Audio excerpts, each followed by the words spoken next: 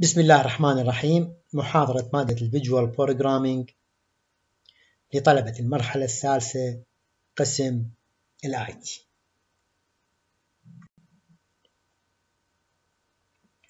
عنوان هذه المحاضرة How to add controls to Windows Forms at runtime by using Visual C Sharp. بالبداية أحب أعرف وقتي الرئيسيين للمبرمج اللي هم ال design time وال run time ال design time أقصد به كل ما يقوم به المبرمج قبل عملية تنفيذ البرنامج. واللي تتضمن. أولا سحب ال control من ال toolbox الخاص به وإضافته على ال form.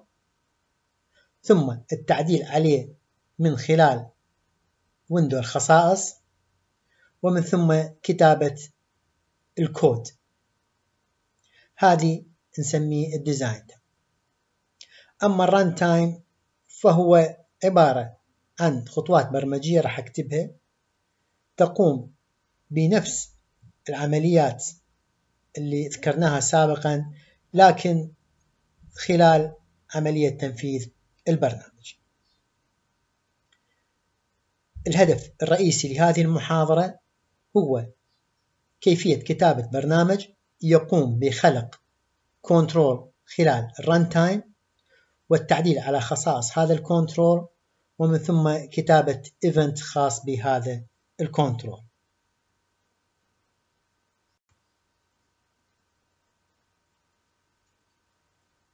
علمنا سابقا إنه عندما أعرف متغير عبارة عن control فأعني به هو يعني هنا عندنا ال C هو عبارة عن control فما أعني بها ال C أما تكون text box label menus وهذه راح أستفاد من عندها بمحاضرة هذا اليوم.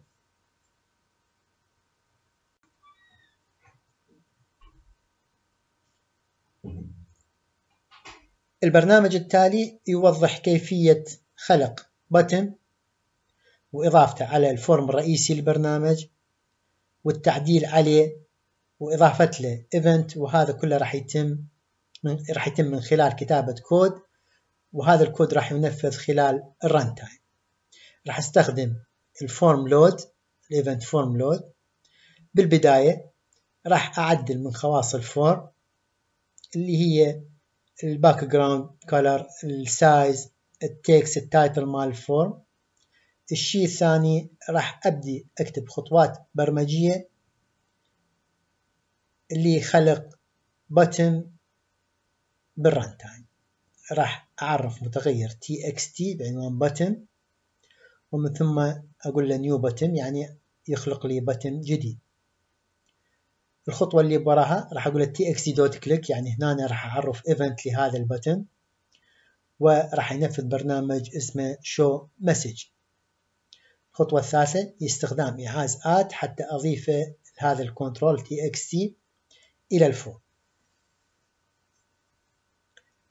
الخطوات اللي بعد format controls راح نشوف هي عبارة عن تعديل من خصائص. هذا ال control اللي هو button اللي أساسا أنا خلقته بال runtime اللي راح يتضمن التكست اللوكيشن السايز والباك كلر آخر خطوات هي راح أعرف البرنامج show message اللي هو عبارة عن إظهار عبارة create control in run time. إذا نلاحظ من خصائص كتابة البرنامج الجيدة أنه أني أضيف له comments.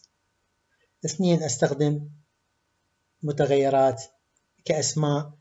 تشير إلى البتمز يعني txt فعليا يشير إلى أنه buttons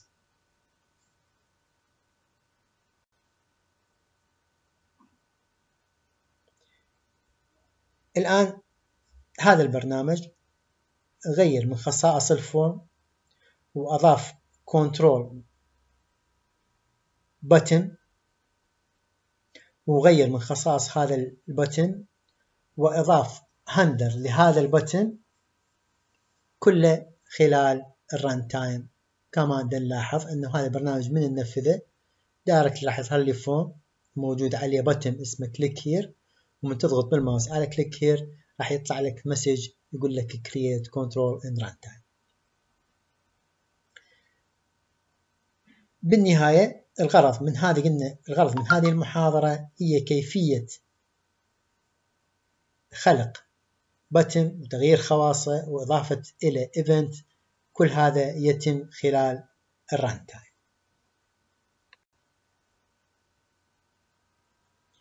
وشكرا جزيلا.